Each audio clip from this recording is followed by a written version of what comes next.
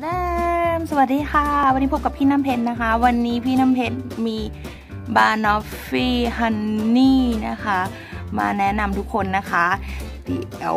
พี่น้ำเพชรจะพาทุกคนนะคะ ไปทำบานอฟฟี่ honey ในแบบฉบับของพี่น้ำเพชรนะคะ อาจจะไม่เหมือนกับบานอฟฟี่แท้ๆนะคะ แต่ก็ว่าอร่อยอยู่นะคะอ่าละค่ะนี่วันนี้พามาถึง เย็นช่องฟิตกันเลยเห็นไหมคะ ก็จะได้บานอฟฟี่แบบนี้นะ เดี๋ยวเราไปทำกันเลยค่ะ ตามพี่น้ำเพชรมาค่ะค่ะ เดี๋ยวตามพี่น้ำเพชรมาดูส่วนประกอบที่ใช้นะคะ อันแรกก็คือนมข้นนะคะสองค่ะ กล้วยหอมนะคะ จะใช้กล้วยหอมทอง หรือว่ากล้วยหอมธรรมดาก็ได้นะคะ ต่อไปค่ะ ครีมโอค่ะ หรือจะใช้เป็นโอริโอก็ได้นะคะ น้ำผึ้งหลอดเล็กค่ะ ถ้าเป็นน้ำผึ้งขวดใหญ่ก็ได้นะคะก็แล้วแต่ ชอบเลย ไปค่ะ ก็จะเป็นคันชี่ค่ะเป็นเหมือนคล้ายๆกับคิดแคทค่ะ แต่อันนี้เป็นฟอนต้าเบกนะคะ แล้วก็นี่ค่ะท็อปโปค่ะ ก็จะใช้เป็นแบบไหนก็ได้ขนมที่มีหลายหลากหลายรูปแบบนะคะ เราก็จะเอามาใช้ด้วยกันหมดเลยนะคะ เพื่อจะทำบานอฟฟี่ฮันนี่นะคะ ครีมโอนะคะ เพราะฉะนั้นก็เลือกใช้วัตถุดิบตามที่เรามีได้เลยนะคะ ส่วนผสมก็จะมีเพียงเท่านี้นะคะ เดี๋ยวมาดูขั้นตอนต่อไปกันเลยค่ะ ขั้นที่ 1 ค่ะ ให้เพื่อนๆเอาครีมโอนะคะ ก็คือแกะนะคะ แล้วก็เดี๋ยวเราจะเอาเฉพาะตัวสีดำนะคะ ที่เป็นเปลือกด้านนอกนะคะ ก็คือตรงนี้นะคะ แล้วก็คือแกะออกแบบนี้นะคะ ส้ข้างในเราไม่เอานะคะ เดี๋ยวเราจะเอาไส้ข้างในออกนะคะ แล้วเราก็จะเอาใส่จานไว้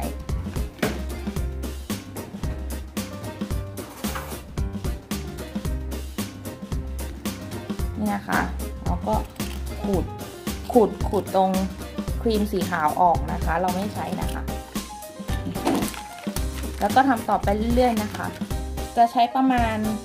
แล้วแต่ปริมาณที่เราจะ ใช้นะคะ ถ้าเราทำหลายแก้วเราก็จะต้องใช้เกือบหมดแท่งเลยนะคะ แต่นี้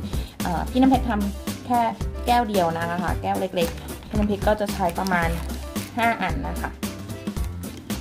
นะคะ ก็เอาครีมขาวๆออกหมดเลยนะคะเพื่อนๆจะใช้เป็นยี่ห้ออะไรก็ได้นะคะ ที่เพื่อนๆชอบเนาะให้มันเป็นเนื้อครีม ให้มันเป็นเนื้อครีมแบบนี้นะคะอ่าครีมนะคะนี่ ครีมพวกนี้เราไม่ใช้นะคะ เราใช้แต่ ตัวด้านนอกนะคะนะคะต่อไปไปดูขั้นต่อไปค่ะ เดี๋ยวเราจะเอาเปลือกเนี่ยค่ะ ไปใส่ห่อนะคะ แล้วเดี๋ยวเราจะทุบให้มันละเอียดนะคะ อันนี้คือถุงซิปล็อกที่พี่น้ำเพชรเตรียมมานะคะ เราก็จะเอาใส่ลงไปในถุงซิปล็อกนะคะ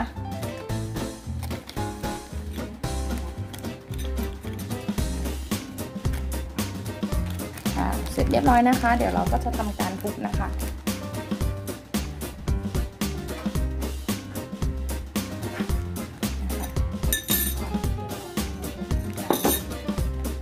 ก่อนทุบนะคะ เพื่อนๆก็อาจจะหาผ้ารองก่อนนะคะ เพื่อไม่ให้มันมีเสียงดังมากนะคะ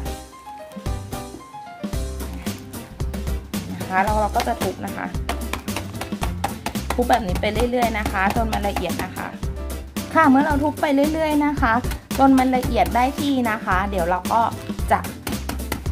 เอามันออกนะคะ แล้วก็เดี๋ยวเราจะใส่ถ้วยค่ะเพื่อที่ว่าเราจะตอนนี้มาขั้นตอนต่อไปนะคะ เราจะนำครีมโอหรือว่าโอริโอที่เราได้นะคะ เทลงในภาชนะนะคะค่ะจากนั้นนะคะ เราก็จะผสมน้ำผึ้งลงไปนะคะ ปกติแล้วเนี่ย บานาน่านอฟฟี่นะคะเขาก็จะใช้เป็นเนยไปละลายนะคะ แล้วก็ผสมกับเนื้อตรงนี้นะคะ แต่ว่าวันนี้นะคะเราจะไม่ได้ใช้เตาเลยนะคะ เราจะใช้แต่คือทำแบบง่าย ๆเลยนะคะ เดี๋ยวเราก็จะใส่น้ำผึ้งลงไปอะพอใส่น้ำผึ้งเสร็จแล้วนะคะ เราก็คลุกค่ะ ผสมกันนะคะ ให้น้ำผึ้งกับกับครีมโอโอริโอเนี่ยค่ะ เข้ากันนะคะ ค่ะจากนั้นนะคะ เราก็จะนำไปใส่แก้วนะคะ อันนี้คือแก้วที่เราเตรียมไว้นะคะ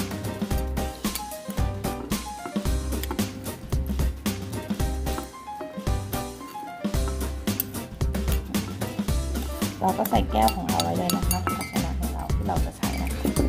มันก็จะกดลงไป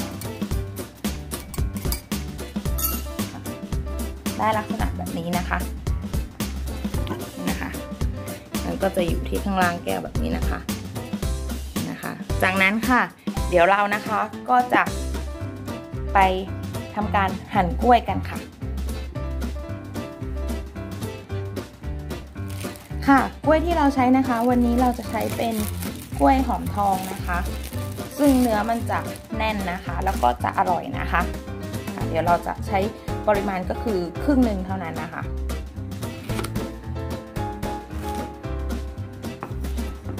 แล้วเราก็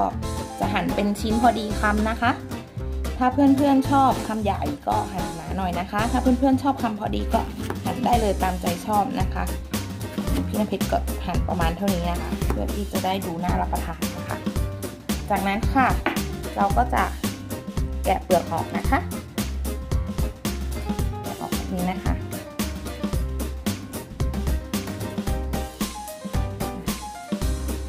ง่ายๆนะคะ วันนี้เราไม่ได้ใช้เตาเลยนะคะ เตาไฟฟ้าหรือว่ากระทะอะไรทั้งสิ้นนะคะ เราจะใช้คือทำเปล่าๆเลยค่ะนะคะ เพราะว่าเมนูนี้อาจจะเหมาะสำหรับเด็กๆ หรือว่าพี่ๆน้องๆที่ดูนะคะ โดยที่ไม่ต้องใช้ใช้ไฟว่าง่ายๆเนาะอ่าต่อไปค่ะเมื่อเสร็จเรียบร้อยนะคะ เราก็จะนำไปใส่ในแก้วของเรานะคะ ที่เมื่อกี้เราได้เตรียมไว้นะคะ ก็ใส่ลงไปในแก้วค่ะ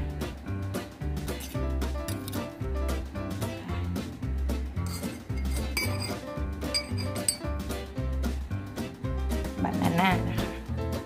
ก็ใส่ลงไปในแก้วนี่ค่ะ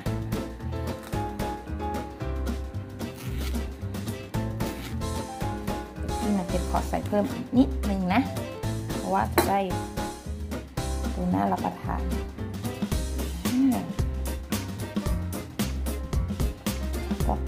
อดีนะคะตักให้พอดีกับภาชนะของเรานะคะตอนนี้เมื่อเราใส่ลงไปแล้วมันก็จะเป็นลักษณะนี้แล้วนะคะ ค่ะ เดี๋ยวไปรอดูขั้นตอนต่อไปค่ะ ค่ะ จากนั้นนะคะพี่น้ำเพชรก็จะเอาครีมโอเมื่อกี้นะคะ หั่นเป็นชิ้นนะคะ เป็นแบ่งเป็นหักเป็นชิ้นๆนะคะ แล้วก็ใส่เพิ่มลงไปนะคะ ให้เป็นเนื้อข้างบนนะคะ เวลา รับประทานจะได้มีความอร่อยเพิ่มมากขึ้นนะคะ มีความกรอบค่ะ จากนั้นนะคะก็จะเอาตัวนี้ค่ะ ที่เป็นเหมือนช็อกโกแลตเนี่ยค่ะซอสไส้เวเฟอร์นะคะ ก็จะเอาใส่เพิ่มลงไปนะคะ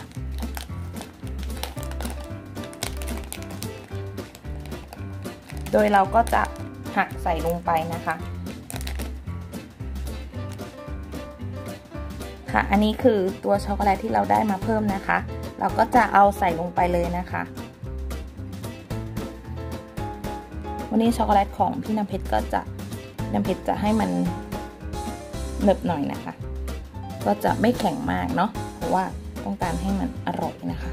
เวลาตักลงไปมันก็จะได้มีความละลายของช็อกโกแลตอยู่ด้วยนะคะ จากนั้นค่ะเราก็จะโรยนะคะ ผงครีมโอเมื่อกี้นะคะ แทรกลงไปนะคะ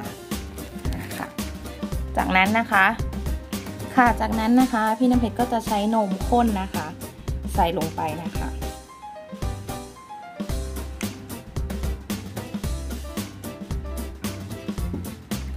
ใส่แบบนี้นะคะ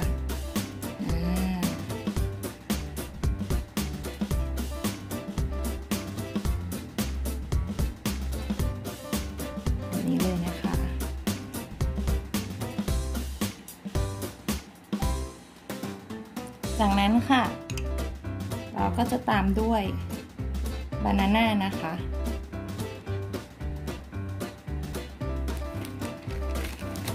อันนี้ค่ะ โรยผงนะคะ ไปด้านหน้านะคะ ตามด้วยช็อกโกแลตแท่งยาวนะคะ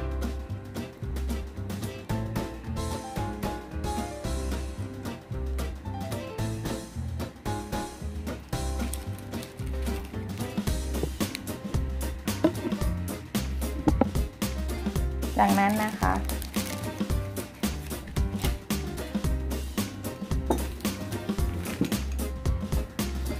ก็จะตามด้วยป๊อกกี้ของเราเมื่อกี้นะคะ เสียบลงไปนะคะ